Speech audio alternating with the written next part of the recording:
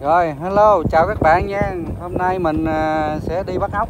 Và có đây, đây là cách đây, chỗ bắt ốc là khoảng 1 km nữa nha các bạn, đi đường đây. Nhưng à, trước tiên cũng à, xin nói trước với những người cũ và những người mới luôn nha. Xem video vài phút rồi comment nhé để mình bị sự farm nha. Nếu các bạn làm mình bị sự farm là các bạn bị sẽ bị nặng hơn mình chứ không phải tại mình đâu nha. Thôi bây giờ bắt đầu đề ba thôi. Rồi, chạy.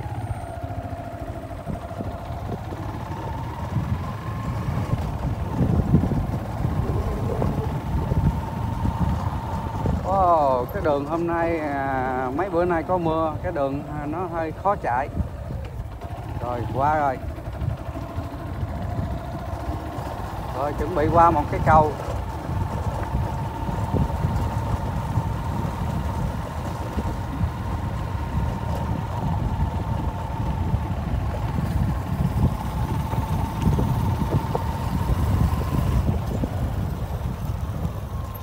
Rồi các bạn thấy cánh đồng đẹp chưa? Cánh đồng rộng đẹp chưa?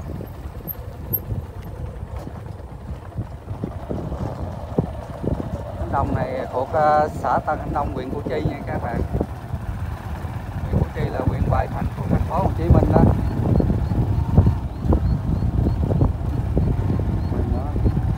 Đó, các bạn thấy có tòa nhà tấn tấn lúc là huyện kia không đó? Mình chỉ cho các bạn đó. Ờ, đó, cái đó là bệnh viện Xuyên Á, huyện Củ Chi á các bạn nó nằm ở cặp quốc lộ 22 á, nó ở là xã Tân Phú Tung nha.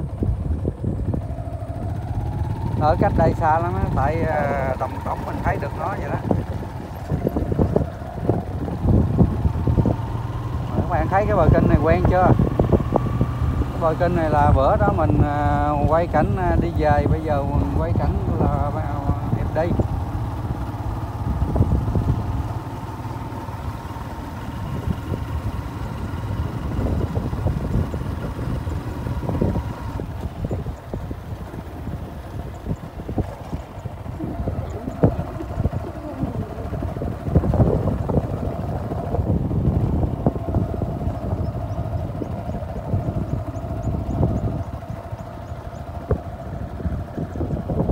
rồi tới ngã ba sông rồi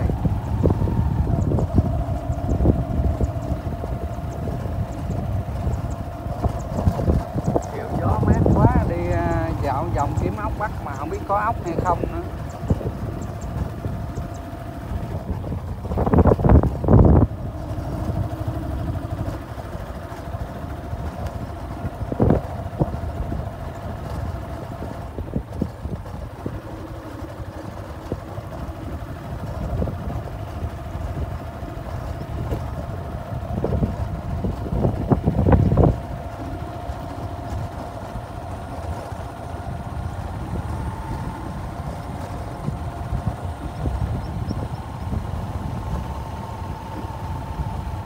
rồi mấy bữa nay trời mưa cái đường nó hơi sóc rồi nó, nó lồi sỏi lên rồi đất nó tồi hết rồi nó lồi sỏi lên rồi.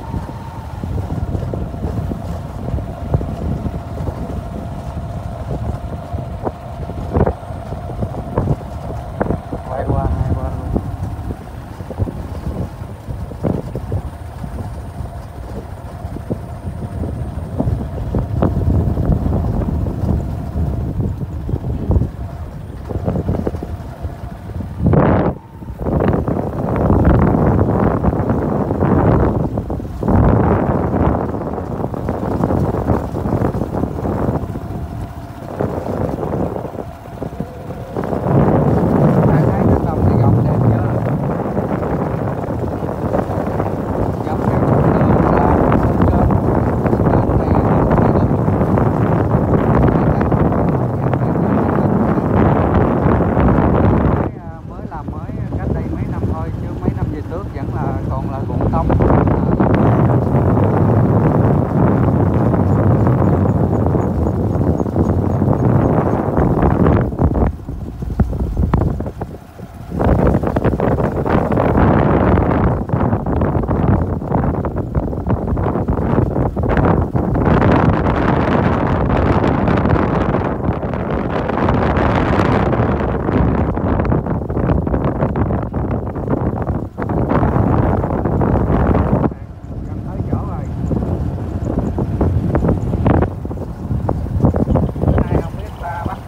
không nữa.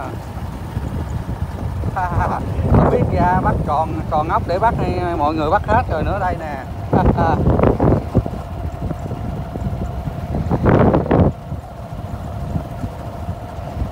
Đây. các bạn thấy không tông kia là những đám ruộng tống những đám đó là có ốc nhiều lắm đấy, bây giờ mình sẽ lủi cho đó đó. Cho đó mình bắt đó.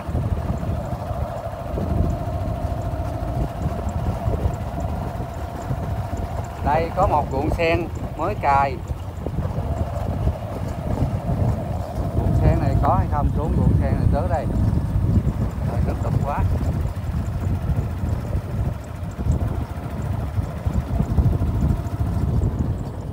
Rồi, thôi, mình xuống chỗ này bắt thôi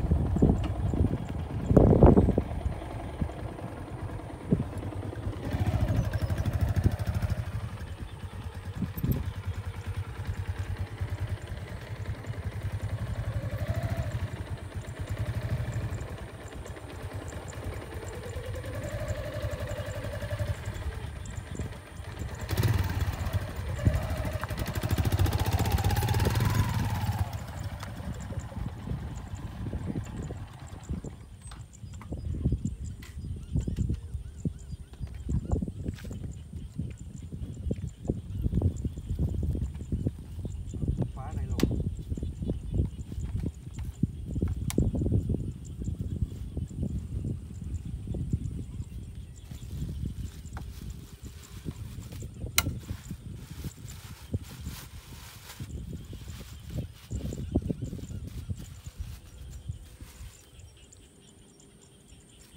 bây giờ là mình xuống ruộng bắt ốc thôi nha các bạn bắt ốc không phải đầu nó bảo hiểm nè, để con ốc mà nó lỡ nó lỡ nó tưng luôn nó rớt. Bởi cái đầu.